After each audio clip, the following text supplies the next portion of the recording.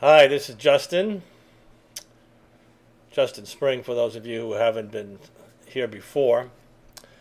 Uh, this is, I think, the 10th installment of the Psychic Roots of Poetry. And uh, what I thought I'd do today is, is take one of those Einsteinian journeys again. You know, I've been mentioning in the past couple of sessions that Einstein would, uh, was a very imaginative person. You people think of him as a great mathematician. He wasn't really that great. He needed help in mathematics, but conceptually he was beyond all the number crunchers. And used to take these journeys on a broomstick. He would imagine himself with all of his knowledge of matter and light, and he would imagine himself sitting on the broomstick, and uh, right next to him was a shaft of light you're going at the speed of light, you know, which we know is the fastest possible thing, at least according to the current theories. And he would imagine what would happen as he approached the speed of light, maybe even exceeded it, and just let his mind float to, to see what would happen to him and to the broomstick and to the light itself. That's not a real situation. That's a uh, that's a highly theoretical situation and it's highly stylized because there's more than just a shaft of light and Albert and a broomstick in the world, you know. But it's one of those simplified things that uh, that in fact eventually allows you to see things. And I suggested we could take a trip back to the beginning of the human race, to the point where two animals came together. I hope a lot more successfully than that, you know, and they produced a human had to happen at some stage. Whether it happened very, very quickly or whether it happened over a period of uh, thousands and thousands and thousands of years, that particular the genesis is hard to say. Um, my own feeling about it, and just intuitive, is that it happened very quickly. As we're finding out that what scientists uh, thought was the um, very gradual change of mice to something bigger to something bigger to something bigger. That, there are so many gaps in the theory in terms of the uh, change points. Uh, that they found in, in some recent studies that the change can happen like that. And then maybe some gradual changes within the species, but the, but the jump from, uh, from uh, when you have an extraordinary jump that, that it can happen extremely quickly. So there's nothing more extraordinary than, than an animal becoming human. It's only happened once. It happened to, in the, the primates. Uh, I think our ancestors were much, much smarter than the chimpanzees we're supposed to have descended from or that we're very close to. We may be close to them in the chain of whatever it is, but I think that the your primates, those little bones they're finding, the little Lucy's and everything, you know, back in time, and that's the first humans or proto-humans or, you know, all of the rest of it. Um,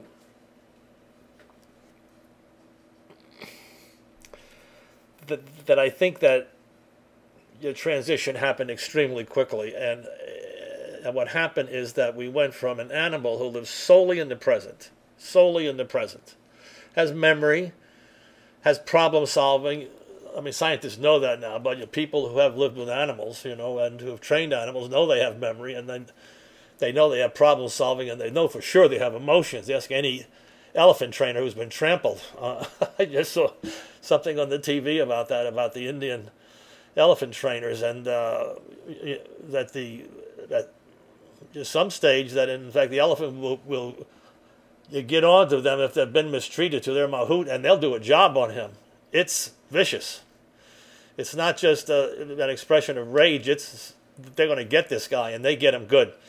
You know, so um, and they're mean about it too. So it really changes your feelings about what animals are all about. You know, and and I can tell you that that, that they um, have emotions.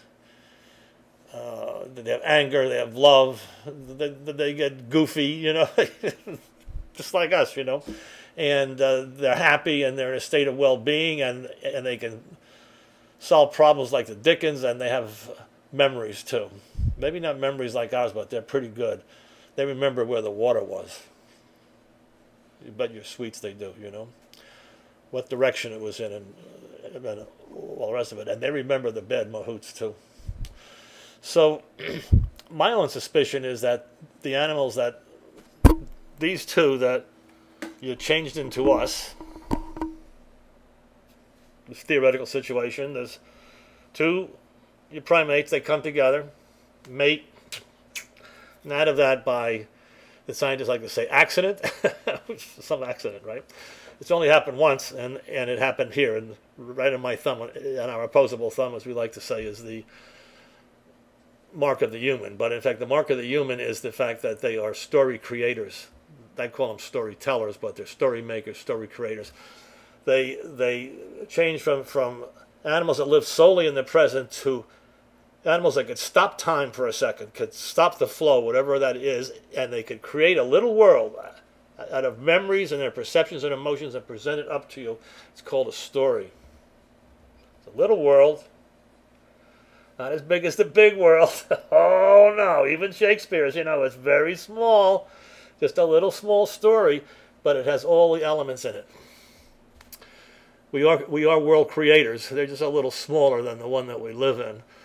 And that humbles all artists, by the way, when they think of holding up a mirror to the world. As Shakespeare said, you know, it's a pretty small mirror.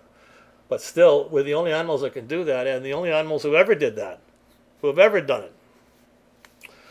And I don't mean that you have to tell stories like John Updike. You could just build your ant dune a little bit differently every time, you know. Make it a little square and make it round and then make it rectangular, you know make it drippy. That's a story, you know. That's not instinctual behavior, that's human behavior. So, anyway, to get back to our little theoretical situation, we're going to bring the two animals together. They're going to mate successfully, and they have a human animal.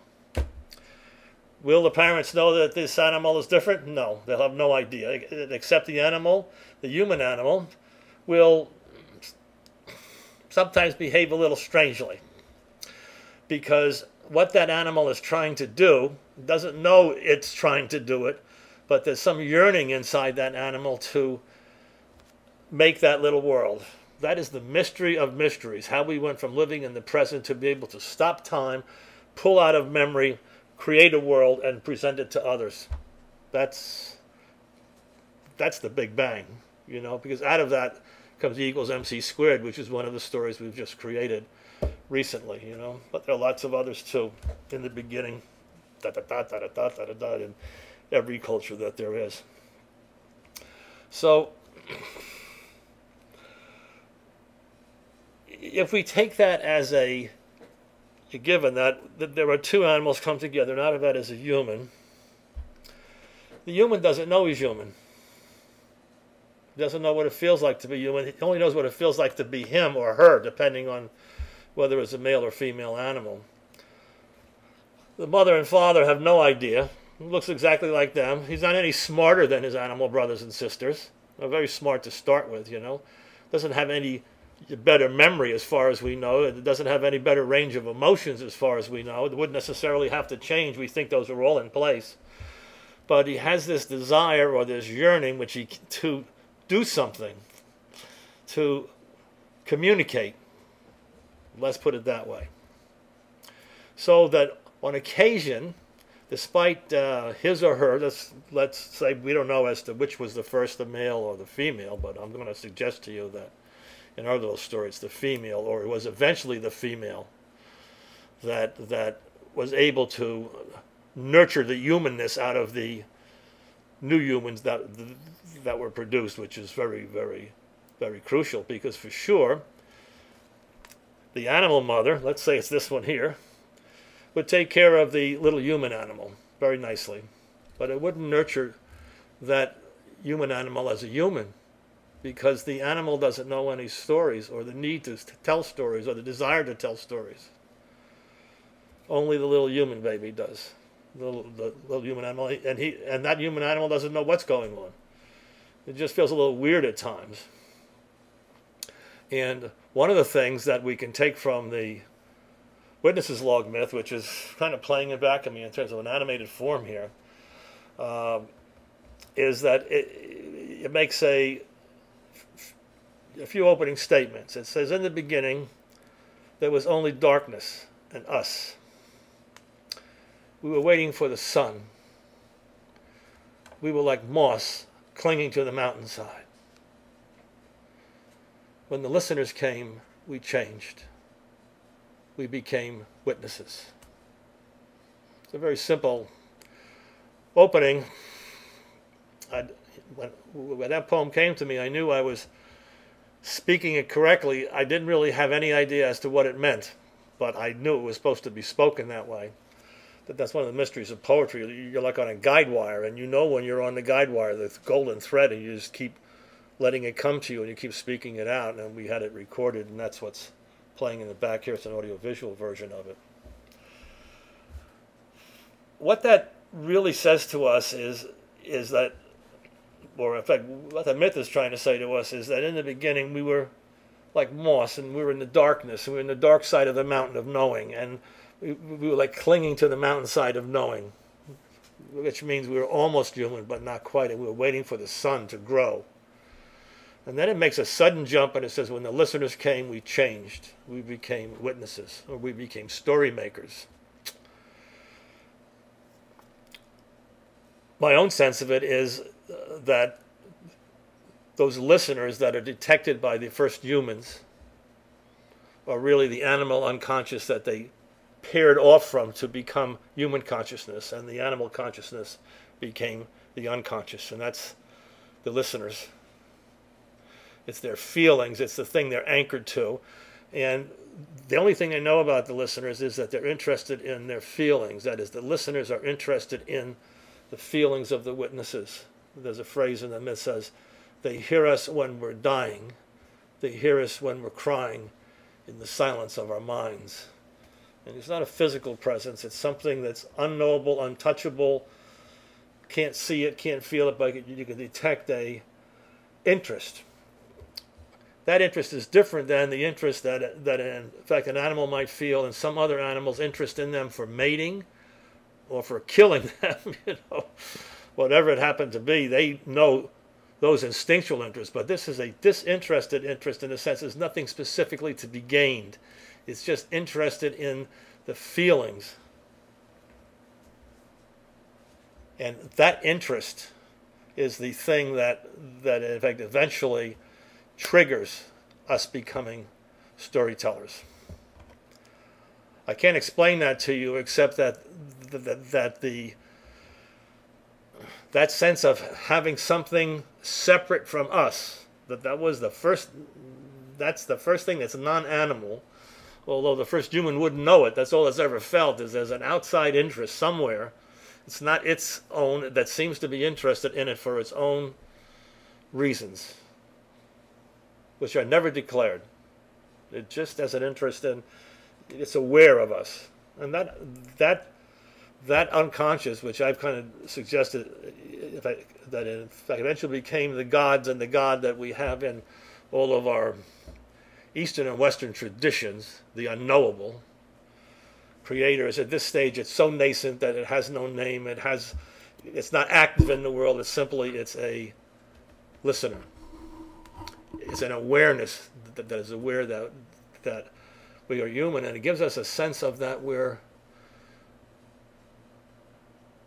somewhat separate, although that, that in fact the first human wouldn't know it, it would just know, they would feel there's a, a presence somewhere, and that's going to take its own course.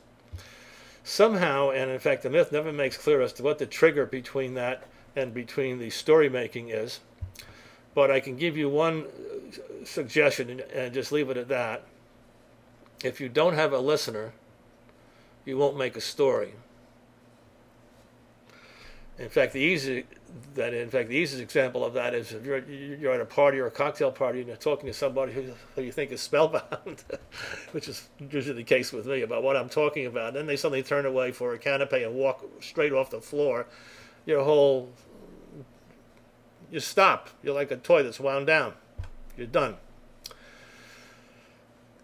Storytelling which is the whole general thing about conversing. We converse in stories. Well, this is what happened to me, and this is why I'm important. Or they're all stories. You know, you're making up or telling the people. It's really a way of conveying our feelings to someone else, some other human being. We think the stories are great, but the story is just a spear carrier to bring the feelings over so that we break out of that isolation. You know, so, so we can do more than just say, simply say, I'm angry or I'm happy or pick the nits off me, you know. I think that probably in terms of human evolution, if you want to look at a reason why, is that, that our intelligence and our emotions and our memory were bursting at the seams. We, we had to be able to say more, to communicate more than, than we were capable of as animals. And some animals, for some reason, that happened, and that happened with us. What that kind of brings you to then is you have a that's a little aside, but and, and, and someone might say, well, you know, I talk to myself all the time and there's nobody there. Yeah, but you're there because you have a modern consciousness, and the modern consciousness is schizophrenic. It creates a you to listen to you bitch and moan about everything. I do it all day long. You know? so I'm talking to somebody and I'm all rating and doing this and that, and the other person is, oh, yeah, yeah, yeah, but it's just me. It's just me inside or some other manufactured person that I'm talking to, you know? So there's always a listener, whether it's manufactured by our modern intelligence, our modern consciousness has a way of creating play actors inside us, inside our mind space in which we can communicate with them different versions of ourselves or others and goes on and on forever. It just doesn't stop, you know. Uh, but if you don't have somebody listening, you can't tell a story. The story doesn't want to be created. Stories are the ways that we communicate, and the story that we're essentially concerned with here is a story called poetry, which is a special story in that we, we can say there are two kinds of stories. There's the ordinary story where we tell what happened to us today when we crossed the street and we, and we forgot to look to our left or our right. We almost got run over. Oh my God, you know, I'll never do that again. There's that story we tell everybody for weeks until they're bored to tears. And then there's the, there's the story that just rises up inside us and moves our lips or our hands if we're writing, but if you learned how to speak it, if you let it go, it'll just come right out of you as a poem. It, it, it's a communication from the unconscious to the conscious that brings us together, that really makes us whole again. That's a, that's a, that's a special story. Very special. It has the surface, it, it has the aim at bringing us together into one whole again for a moment and then letting us go back to our conscious chitty chattery mind and our deep wavy unconscious going its own way. But they're both us, brother. That's what you have to. And the one underneath us, which we call our unconscious, that goes pretty deep. You can think of the conscious mind as like a surface sheen, and it's very brilliant, and it reflects the sun and the moon and the skies and the whole universe. But it's nothing. It's just a little sheen on top of beneath it. All strange things are moving. We have no idea that eventually come up and change the surface. The moon's in a different position now, and our face doesn't look so good. It's like this, you know. So you, gotta you, you, gotta pay attention to these things, you know. Anyway, let, let me get back to that to our first animal because that's important. Excuse me. Let me.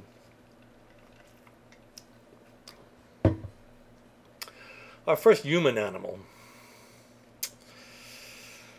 doesn't really know what's going on. It knows that once in a while it will erupt with something, and there's no language now. Okay, listen, in our imaginary situation, there's no language.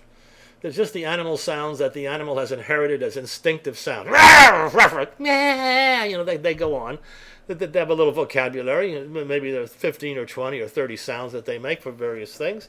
And they're always accompanied by gestures and things like this, you know, da, da, da, da, And, uh, uh, uh, but there's no language. That doesn't stop us from telling stories. Stories can be told through a series of physical gestures, mime, you know, and it can be told uh, uh, uh, through those sounds. You know, they're primal emotions. You can link them together to tell a story. I saw you yesterday and I was angry at you. Just point. You don't have to have you. Just point. You, you, me, you. You know, like that. So that's a, that's a, that's a story. And, and I think every once in a while, our first human would would just kind of erupt in those. but they were different than just the just the exclamations of what all animals had done since the beginning of time. They were just expressions in the present. And so what happened? The other animals, including mom and pop, would just look at the you. Let's say that you're the first one. You carry that burden, okay? And uh, uh, that would just look at you like, what? What? Huh? Let me slap you around a little bit, you know, for making a lot of noise for nothing. You're heartbroken. You've just said something. You know it's beautiful. Inside you, you formed the first story or the second story of your life. And let me tell you that the first story that you ever tell is a poem. it comes directly from the unconscious and forms itself. It's not just words that come out, just random words when a poem comes. It comes out in story form. I saw you at the stream and I hated you. Or I saw you at the stream and I loved you. It's not a great story. It's not Dickens. It's a story. Something no other animal had done before. And after four or five or ten times of saying that to mom and pop, go, Jesus. What that animal would feel was an intense loneliness of some kind. That's exactly, this is a little bit of exaggeration, but it's what we feel when, when we try to communicate and we don't get through. Because that communication of that first human child is the same as our communication with others. If we don't get through, we feel isolated. They don't understand us, not in the least. They just walk away from us like we're crazy. That's what the animals felt. First human was crazy. He's a crazy animal. It's nuts. They, they didn't have words for it. Something was the matter. You know? What, what, what, what the hell's going on? So, what we have, whether the first human is a male or it's a female, during that time up to when they began to mate, they would probably be making little stories, not knowing their stories. They had never had an animal existence. All they have is their existence. And out of that existence, somehow, they would pull out of memory things and they would put them together in such a way through gesture and through mind that was a story. And they would tell it to you. You would have the slightest idea what they were talking about. It's a very strange situation. Very strange situation. My whole sense of it is there's an increasing loneliness in the first human animal. You can play with the others, you can have animal talk and stuff like that, but when it really feels good, when those poems are coming up, that moment of ecstasy, that story formation, that that that divine quality to create a world comes up and nobody gets it. I, it's the same as what poets feel when they talk some, sometimes to people and they do a, a fabulous poem and people look at you. I used to do that at the Barnes and Noble. Some guy might have his finger up his nose and you, you know, come on it's like you're living in a foreign country sometimes in the United States. So it's not a matter of culture, it's a matter of depth. You know, we're a people's heads and hearts, you know. But that's essentially what the first human animal is going to be feeling. Because that same thing that happens in the to the poet, with a sudden arrival of a story, it's formed out, this time it will be done with sounds and with motions and whatever it happened to be, and screams or cuckoos, whatever. It's going to form a story, and it's heaven blazing into the head, like Yeats says. It doesn't have to be Yeats' wonderful English to produce those effects, I can assure you, you know. Excuse me, a little dry throat here. anyway, so we have that situation, and now it, the time comes to mate. So I want to step back from that because I'm going to come back to it as to what's so important here. And I'm going to make some very fast statements. I'm not going to back them up. You're going to have to live with it. And if you want to learn more, you know the drill. You can read about it in Alice Hickey, and in fact, you can read about it on my other book, which is the um, Uh, this is some this is some stuff on Julian Jaynes, but over here you'll see that I have another book, which is the Soul Speak: The Outward Journey of the Soul. Gives you a little bit of more insight into Soul Speak as a contemporary form of that first speaking or that first poetry. But you can get them all simply by going to the Soul Speak webpage, or you can go to my page, which branches out into all kinds of things, including the novel Alice Hickey and all its background and its journal notes and everything like that. Okay we have to ask our question at this stage of the game. Okay, we have our first human. It could be a, a, a boy or a girl. You know, they're going to be equally human. There's no doubt about it. Um, and just to leave that for a second, and then we're going to go and ask ourselves,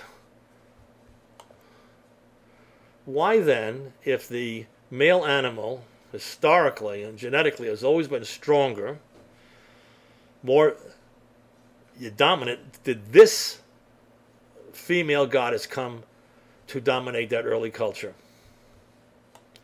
That's the question. Why didn't this guy, why didn't we have male gods in the beginning? What, what happened? What happened in those first humans that made the female so dominant? I'll give you another shot of another one from another culture. What was it that made them so dominant? That's an interesting question. Because, for all intents and purposes, we, shouldn't have any female gods. If the first human became internalized eventually in terms of myth and song as a god. That's what happens, you know, through stories. What else? Okay. And then becomes internalized in a sense that, that, that, that it becomes a part of our unconscious. Okay, that animal unconscious started to grow immediately and then become more human. Okay, this is the, they're they're always interacting. You know. Why do we have female gods? And even more interesting is the question why is the muse a female? The muse is the goddess who brings your poetry. Why, why, why is that a female historically? It has always been, despite the changing of the guard, or the gods, as I like to say, the changing, the changing of the gods. It just stayed female, and nobody argued with that. You know, no one argued with that. I'm going to suggest to you that, that in fact, the reason that happened, and you can pick up some information on this if you read Alice Hickey, because myself and Alice go into a long, long, long discussion of this, you know, and she was very interested in that issue too. Why the female and why so dominant for so many thousands and thousands and thousands and tens of thousands of years? The answer, I think, is in the nurturing let's take our first human. Let's say it's a guy. It's a male. It's me. I'm out there. Okay? And then nobody really gets it. And I go and I mate with another animal. You know, maybe I mate with my mother. You know, go back, you know, and so that the offspring could be, that's a horrible pun, but I kind of like it. The offspring could be either human or it could be another animal. You, there's no way you can tell at this early stage where everything's so iffy, you know. But uh, uh, uh, and then there's another, and then we could mate again at some stage, you know. But but in fact, the male would essentially be a mater, would be a mate. It has no interest in nurture. In fact, what it likes to do is eat its young once in a while. You know, we can see that throughout. Or you beat them up, throw them out. You know, they want to get at the female right away again. And as long as the female is nursing, no action. So we see that throughout the primates, and we see it throughout all other animals too. That there's that tendency to just, hey, I want some, let's get rid of the kid, you know. So that's kind of crass way of putting it, but that's the way it works. You know, in the animal kingdom, there's not a lot of delicacy there. What, what? So what we have is that the male animal isn't really interested in nurturing the humanness or the storytelling. He's just baffled by the storytelling, lonely, doesn't know what to do. Uh, he just procreating and he's leaving babies be, behind, which are either human or animals, and, he, and it goes on and on in the chain. Whereas if we let our first human be a female, that's a female, by the way, if you want to know what the difference. They look the same, don't they? In this world of unisex, you really can't tell with chimps. It's hard, and maybe it was hard to tell with us too before we developed all these primary sexual features that we have. You know, the female human, by the time she reaches mating age, is going to mate with someone. Let's just say that she mates with her father. That's the only guy around. Okay? You a little simple example, but it could be somebody. Maybe it's another animal from some other place, but we don't want to complicate the issue. All we need is a male who's an animal. So the father's there, and they they uh, mate, and what what could come out of it is either a animal or human animal.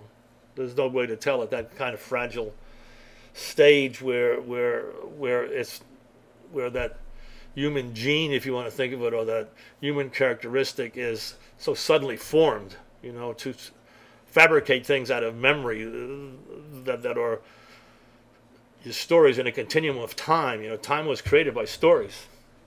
Everybody ask a question, what's time? What's time? Time? Time? Uh, uh, to sense time is to be human. You can't be human and not sense time. That sense of time we have is created by the stories we've told since the first human popped into the world. And somehow, all of our stories have beginnings, middles, and ends. That's the way the accident happened. So after a while, since the world is created by stories, the world has a beginning and a middle and an end. And it goes around and around and around. Or if you're of the current thinking, it just goes to the end and there's some big whimper and bang and it goes out. And doesn't make any difference. But there's always beginnings and middles and ends. It's, it's the passage of time that occurs because that's the way that stories occur. That they begin, there's action, and they end. Why, why stories are like that, we don't know. But it has made us, uh, through a sense of time, more importantly, and I'm going to leave you with this, and I'm just going to play one little short speaking at the end of this, is what happens is that the female mother, who was just as lonely as the male human case I took up for 10 or 12 years or 13 years, has been telling these stories and nobody's listening to her and that she doesn't know what they mean. She just has to tell them, you know. She kind of feels what they mean. They're, they're like expressions of things that have happened to her and they're how she feels about them. She has a baby. Maybe the baby is an animal, maybe it's a human. You can't tell at that stage, can you? It's so fragile as to what's going to happen in the genetics. But let's skip past all the times that it was an animal.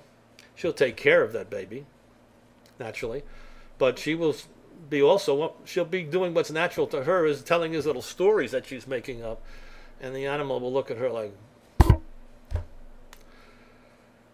But one day, one of the babies is going to look at her like,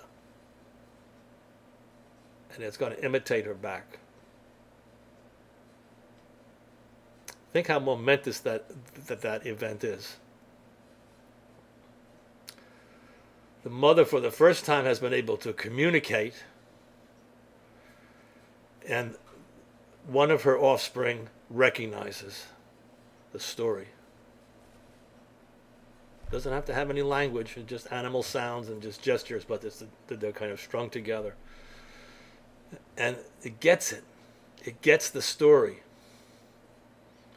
And soon that little child will start to tell stories back, very small stories. And what does the mother do instinctively? The mother instinctively nurtures that humanness, that story making, above everything. That is everything. That's who she is. So if the mother is going to pay any attention to the rearing of her children, which they do extensively, as we know, by seeing how protective they are of their young and all the rest of it, okay? this is something that this mother is going to protect, and she's going to favor those human children. She'll take care of the others They're brothers and sisters, but the ones she's going to really take care of are the ones who get it and she'll be watching to see if they get it.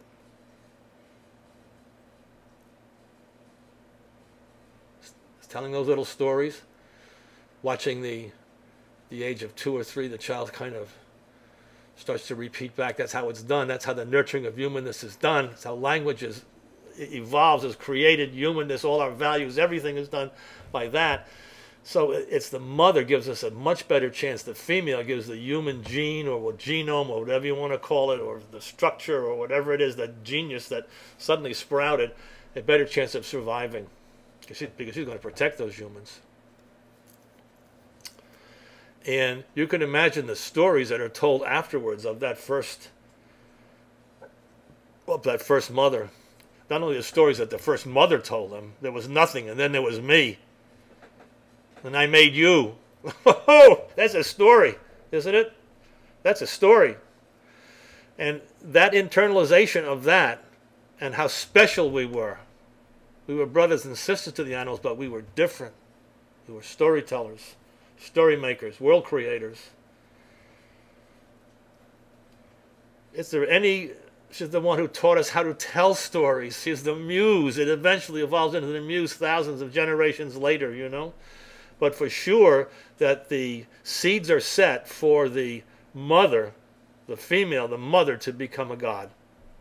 The giver of life, the taker of life, instructor of life, everything. The male just got pushed right. The male was like, sorry. Didn't stand a chance. And what she taught them, and what they taught their children, the females, and so on down the line, is they taught them to be human, or they encouraged the humanness. They nurtured the humanness, the storytelling, as, as only mothers can do, and they still do it today. You know, they've done studies on kids who are deprived of, of all human contact. It's horrible. They turn into animals, you know. Just com- completely, just bright animals like, in fact, yeah, we would be without somebody encouraging our humanness. And they know how important it is for the baby to learn language and love and connections and and and storytelling, you know, through the mother, but those very first attempts. That went on and on. You can see the seeds that are sown are monumental. No time for the male gods. What? Male what? male man. Forget it. This, this is a whole different story. So let me just close off now with with those things. I want you to think about that too, how monumental those events were. I've kind of put them in that theoretical Einsteinian world where it's very clean. But you can make it as dirty as you want and as complicated as you want. The same thing happens is that the female, the mother, is the one who nurtures humanness. Not just takes the ticks out of you and stuff like that and jams a banana down your mouth, but, but, but who tells you stories and waits to see your response and corrects you, you know, whatever, watching you. You can see that first mother becoming the listener too some kind of embodiment of the listener that's going to get internalized that you, your listeners that, that, that eventually became the gods and back of the gods. You know, there's always those. Uh, every culture in the Greek culture is the fates. Nobody knew what they were up to. You know, just kind of spinning and toiling back there and setting out the things. And that's in some sense you can say that was that's what the listeners were the first glimpse of there's something unknowable that has an interest in us, and that's all you can ever say. And I think that's all you can ever say, period, after hundreds of thousands of years. That that first glimpse is about the only glimpse that we're going to get, and everything else is just a story. And some stories are very powerful. Story of Jesus powerful. Story of Buddha is powerful. Story of Muhammad is, and Islam is powerful. You know, they change countries, but they're just stories. We shouldn't forget that especially when they wear down and don't have their their genius in them anymore, which is almost as soon as they're told. I'm, I'm sorry to say they go out of date almost as fast as pocketbooks. Let me just play something for you here.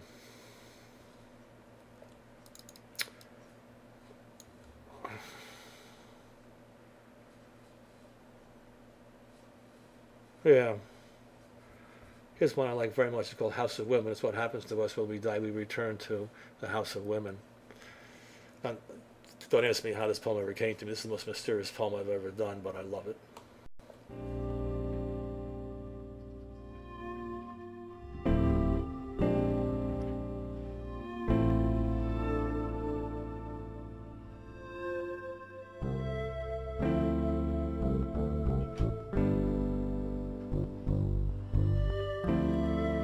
Sometimes in my dreams, Sometimes in my dreams, I go to the house of women. you're right beside me. I don't know how I get there, We're walking together. only that I do, and when the door opens, I somehow know where I'm supposed to go. Everyone's there. The women know I'm there, but they don't say anything at all. All Just walk back and forth on their own all the men, small pilgrimages. all the children. Where are they going and where am I going in this house? We're all here. Look for the signs, someone said, and I looked for them, and there they were pointing the way. I knew now I was Together. on the right path. But I didn't know why, only that I that I was, and then the room opened and there it was, right in front of me again. My room. How could it be here or what am I doing here looking at this room where nothing is is mine and yet it feels like my room. All these people in your room. Nothing is mine. Just like mine. Like a All your friends. stage set. And your lovers. Wives. I'm going to die here. Children too. They're all here. They're all here. I don't know where to go in this house. For you. That room is not Listen. the room I should go to. It's somewhere else. Just lie down. What can I say about this room? Just lie down. Nothing but memories of you and then And all this love. you disappearing and then someone else taking your place. All the love. Someone else who is who is that face and The who is family. That person and why am I even here? Still going through your room. Look at it. As it always was, They're dark, here in your room. full of small lights and memories of who we are. Memories. Look at you. Look at you. Look at me. Look at. Look at you. Look at me. Look at me. Look at you. Look at you. Look at the love. I could leave this house now with its tortured vines and rooms that go nowhere. It's so hard.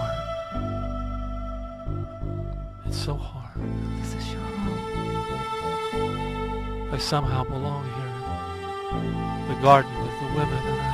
The garden of love. Keep being pulled back to something else. The light. This is the road to dying, I think. The light of dreams. This is how it looks. This is the door that you come in first. It's the house of the women. the dream And then you lie down and then you speak to